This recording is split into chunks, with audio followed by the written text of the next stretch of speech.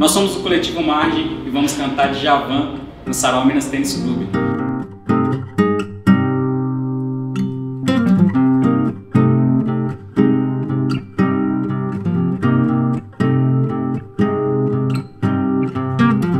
É um artista muito completo. É um grande letrista, um grande cantor, um grande compositor, um grande arranjador. E é bonito, né?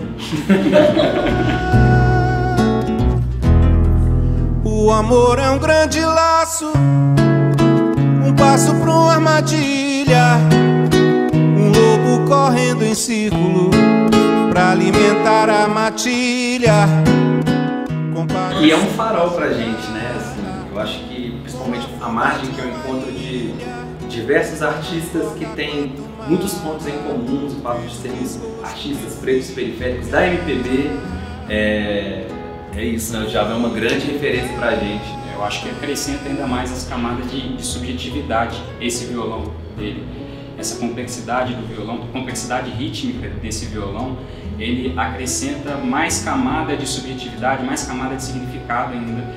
E é impressionante assim como que a gente consegue você, você consegue identificar muito uma pessoa que tem influência do Djavan no Brasil, um compositor que carrega essa influência quando ele começa a tocar assim.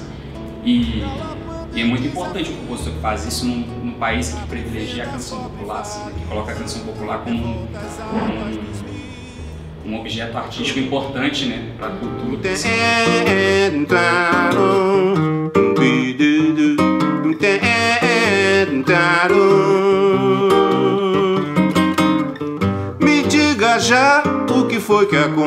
aconteceu.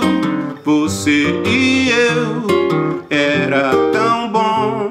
Essa questão do violão, do Djavan, é, é uma, uma maneira muito peculiar de tocar, com uma identidade afro-brasileira muito marcante no violão e ao mesmo tempo com uma, uma, uma referência que também é possível perceber nas canções dele, referências de outras culturas. A música é a minha profissão. Eu sou um compositor. Eu não estou querendo vulgarizar o ato de compor porque não é fácil.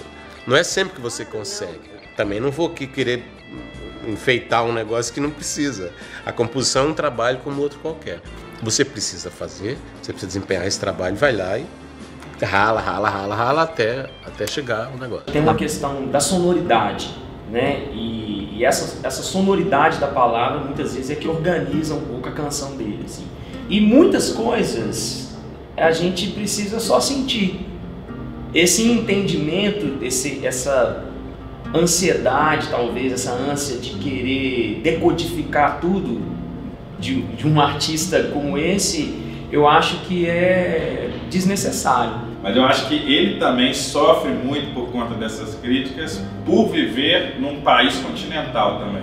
Então, por exemplo, uma música que todo mundo dá como exemplo, Açaí Guardiã.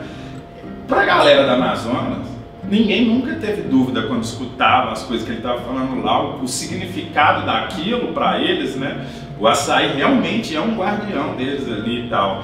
Bate de um jeito, né? Então acho que letra de música é completamente diferente de um dicionário, por exemplo, né? Existe uma subjetividade que está tanto na intenção do autor quanto na compreensão do leitor, né? Agora mesmo, o Djavan é, é relativamente É, novo, é é uma sugestão, eu acho ele um, É que um Djavan craque. é, é tão craque que É a um gente craque. acha que ele é daquela época. já.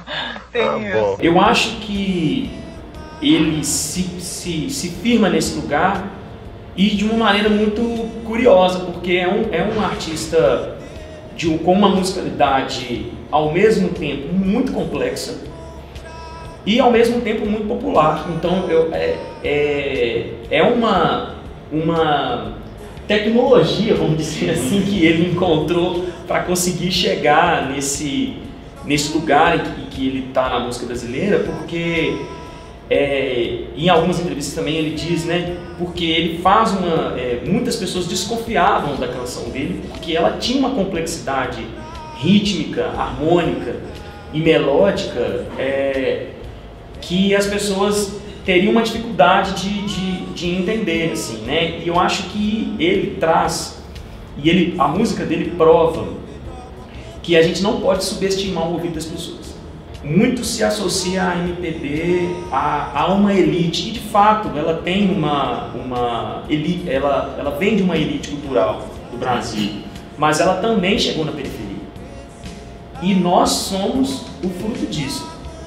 É, chegou o Djavan, saiu, o né? Djavan é Tamara disso. Assunção é fruto É. disso. E é o que acontece quando ela chega na periferia. E o que acontece é uma Realidade. ressignificação. Então, assim, nós, é, essa, nós escutamos Djavan, nós, nós chegamos, nós escutamos Elomar, nós escutamos Steve Wonder.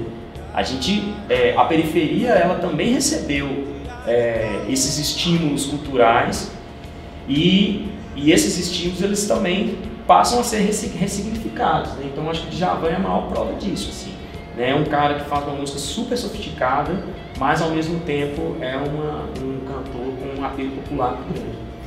Primeiro que a gente vai, nós, nós fizemos uma opção de, de mais uma vez prova, tentar provar, né? Assim, dar uma amostra de que o Djavan é extremamente popular, porque nós vamos fazer arranjos eletrônicos, né?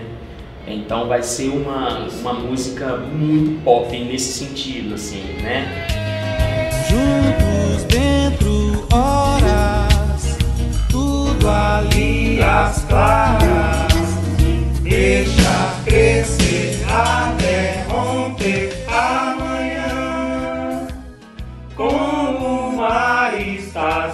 Sereno, olha lá. As gaivotas já vão deixar suas ilhas. Veja o som. É demais essa cidade. A gente vai ter um dia de calor. É, é óbvio, né, por a gente ter escolhido também o Djavan, a influência dele é tamanha também nas nossas músicas? E a margem ela parte do encontro de quatro compositores, que somos nós, que tem a carreira cada um individual. E fizemos esse encontro para compor coletivamente, né? Criar esse hábito, fazer exercício de encontrar semanalmente e compor. Então, o que vocês podem esperar são canções que têm muita nossa cara, que tem uma versatilidade grande pelo fato de serem quatro cabeças distintas, né, de pontos diferentes da cidade, mas que também tem uma influência muito grande de Javan, né? Assim, eu sou muito de Javan, assim, é uma coisa que eu escuto muito. Ah, você tem influência de Javan e tal. Então, as canções que a gente escolheu também para compor esse show são canções que de certa forma a gente acredita que dialoga também com o, cancioneiro do, do Djavan, né? E o Djavan tem muito essa essa questão em comum, né, de encontro com a gente, que nós defendemos a nossa canção no, no- cantando e tocando violão, né? Então, nesse sentido também eu acho que a aproximação e a citação do Djavan vai ser bem, bem forte nesse ponto, né? O ponto que não vai ser eletrônico do show, né, com beats, essas questões todas, vai ter esse momento voz e violão também, né? Vozes e violão? Nós somos o Coletivo Margem e vamos nos apresentar cantando Djavan no Sarau do Minas Tênis Clube no dia 3 de outubro de 2022. Só vem Chega mais.